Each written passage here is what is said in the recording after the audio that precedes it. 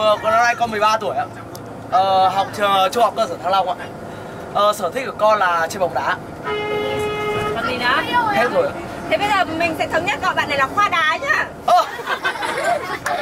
Vâng, cô cô thì cô rất là ấn tượng với màn giới thiệu của con mà cô thấy rất là tự tin nhưng mà Dạ. cô có nhắc một chút thôi là lần sau khi đi đâu con giới thiệu con bỏ đi cho cô từ ờ đi một tí thì Vâng. con sẽ rất là tuyệt vời. Được chưa nào? Vâng ví dụ cô nhắc lại. Cô tên là Phùng Thu Trang ạ. Ờ cô năm nay 33 tuổi ạ. Ờ. Ok không? Dạ. bạn ấy tên là gì cả nhà nhắc lại nào. Đỗ Đăng Khoa. Con sẽ không Đỗ Đăng Khoa.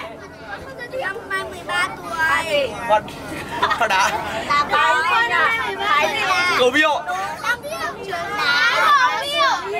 Cầu Biêu Tại vì thầy Minh nói thế ạ. À Thái Cầu Biêu rồi Ok Dạ. Con số chị định đi